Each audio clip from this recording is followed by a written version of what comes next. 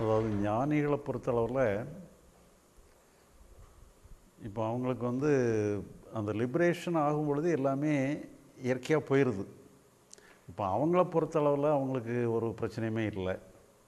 ஆனால் செயலை பொறுத்தளவில் செயல் முக்கியமானது. செயலுங்கிறது அவங்களையும் கட்டுப்படுத்தும் சூழ்நிலையும் கட்டுப்படுத்தும்.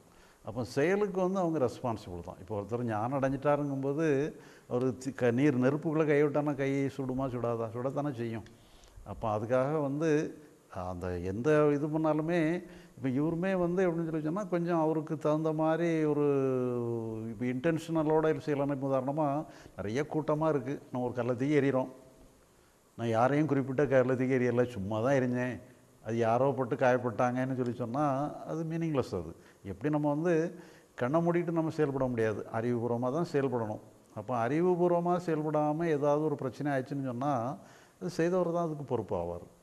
அப்போ இந்த மாதிரி இருக்கிறதுனால என்னென்னு சொல்லி சொன்னால் இந்த செயல்களை பொறுத்தளவில் ஞானிகளும் கட்டுப்பட்டவங்க தான். அதனால் ஞானிகளுக்கும் கூட கர்மா வரத்தான் செய்யும். ஆனால் இருந்தாலும் என்னன்னு சொன்னால் ஆனால் இவங்க மனசளவில் சுதந்திரமாக இருக்கிறதுனால அந்த சுதந்திரத்தை இது வந்து கர்மா வந்து கட்டுப்படுத்தாது. சுதந்திரம் சுதந்திரமாக தான் இருக்கும். ஞானம் ஞானமாக தான் இருக்கும். அதனால் அவங்க தப்புகள் வந்து ஏதோ ஒரு வகையில் கர்மாங்கிற பேசிஸில் அது கட்டுப்பட தான் செய்யும். ஆனால் இதே நேரத்தில் என்ன சொன்னால் சப்போஸ் இப்போ நம்ம வந்து கர்மாவுமே வந்து நமக்கு இப்போ கர்மாவை நம்ம அனுபவிக்கிறோம்.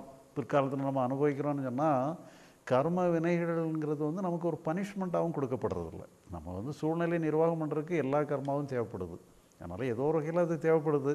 இப்போ நம்ம ஆனால் அதே நேரத்தில் அடுத்த பிறவி எடுக்கிறதுக்கு ஒரு ஞானி வந்து பிறப்பெடுக்கும்போது அவங்க கர்மாவை அவங்க வா பிறவி அவங்களுடைய வாழ்க்கை முறையை அவங்க நிர்ணயம் பண்ணிக்கிடலாம். ஒரு சராசரி மனிதனுக்கு நிர்ணயம் பண்ண முடியாது. ஞானிகளை பொறுத்தளவு ஏன்னா அவங்க இன்பத்தை அனுபவிக்கிறதுக்காக ஒரு பிறப்பு எடுக்க மாட்டாங்க. ஒரு அவங்க ஒரு காரண பிறப்பு எடுக்கிறதுனால அவங்களே அவங்களுடைய கர்மாவை ஒழுங்குபடுத்திக்கிடுவாங்க. பட் இருந்தாலும் ஞானியுமே வந்து ஒரு தப்பு பண்ணுனாலும் அது ஒரு கர்மாவில் தான் சேரும்.